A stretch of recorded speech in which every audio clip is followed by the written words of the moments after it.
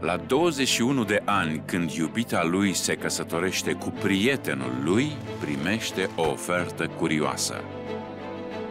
Jobul, într-un hotel supervizat de o femeie de 44 de ani, se transformă într-o relație pasională.